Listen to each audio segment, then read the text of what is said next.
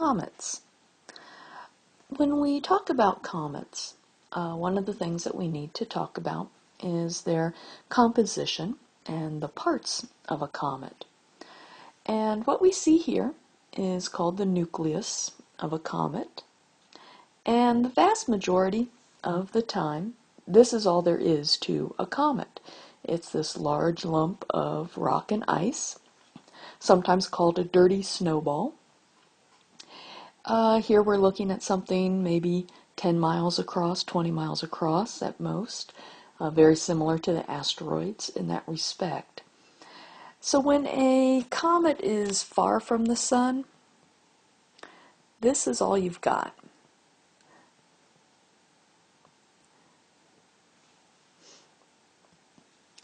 It's only when a comet gets closer to the sun that it starts to develop the other parts.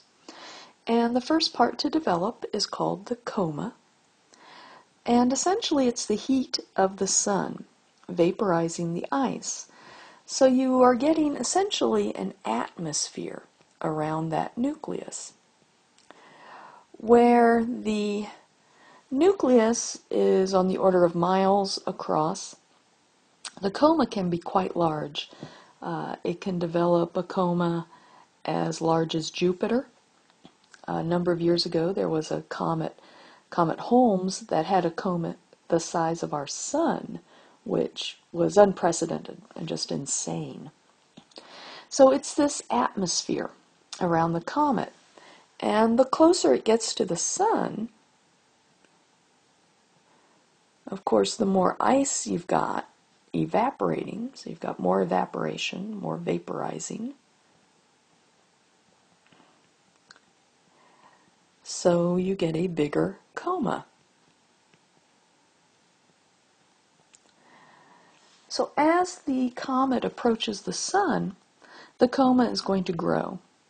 Then, as it leaves, it's going to shrink back down again since it's getting away from the heat of the sun. The other thing that develops as a result of being close to the sun is the tail. And this is due to the what's called the solar wind coming off of the sun. So it is essentially blowing against the comet and causing that gas and dust that's falling off of the nucleus to extend out into a tail behind it. And like the coma, uh, the closer to the sun you get, the bigger it gets. And that's because the solar wind is going to be stronger when it's closer to the sun.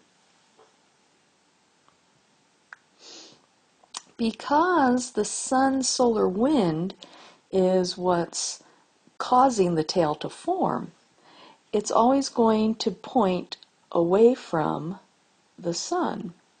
So you have this strange phenomenon that as a comet approaches, the tail is behind it. As it swings around the sun here, it's going to be kind of perpendicular to its direction of motion.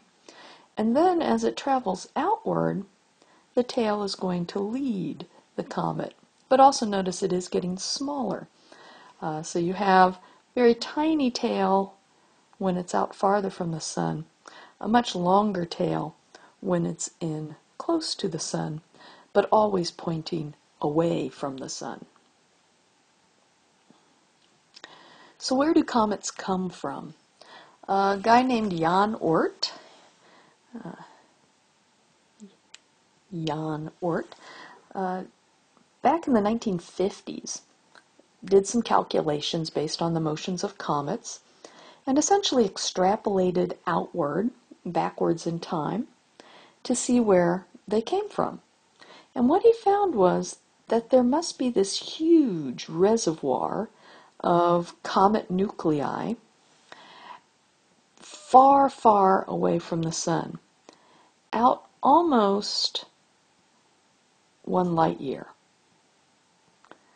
They're still held in the sun's gravity, but just barely at such large distances. So it doesn't take much to change its motion. So one tiny little nudge by a nearby nucleus or a star going by can send it plunging inward towards the sun. And that's when we would see it, when it gets in close to the sun. But because these orbits are so long, uh, it's going to be a long time before you see it again. So this is the source of what's called long period comets. Um, long period, greater than 200 years before we see it again, is considered a long period comet. So sometimes you'll hear about a comet and the next time we'll see this comet will be in 2,427 years. That is most definitely from the Oort cloud, and that is most definitely a long period comet. The Kuiper belt is closer to home. Uh, as you see here, it's around where Pluto is.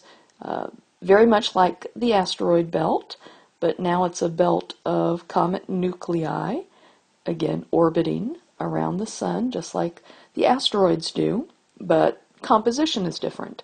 Where the asteroids were rock and metal, here we're seeing uh, rock and ice. But like the Oort cloud, uh, they can get bumped out of their orbit and they can end up taking a path in towards the sun and back out again. And it's when it's in here by the sun that we're going to see the tail and all of that fun stuff. But being in closer to the sun, the time it takes before we see it again is going to be much less. So these are short period comets, so uh, less than 200 years to see one of these again. So uh, most famous would be Halley's Comet, which comes back every 76 years, roughly. Um, but also notice this is, here's the orbit of Pluto here.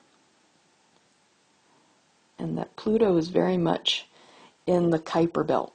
That's going to be important when we uh, talk about Pluto. Because comet nuclei are small, they're not easy to see from here on Earth, but as technology's gotten better, uh, we have actually documented Kuiper Belt objects. Uh, so these are sometimes called uh, Kuiper Belt objects or being lazy. We call them KBOs. And so here we see a graphic showing uh, known Kuiper Belt objects. The reason why there's a gap right here is because these observations were made when Earth was over on this side of the sun, and so we couldn't see through the sun to those. Uh, but as you can see, over a thousand of these have been found in the Kuiper Belt. So a lot of comet nuclei out there.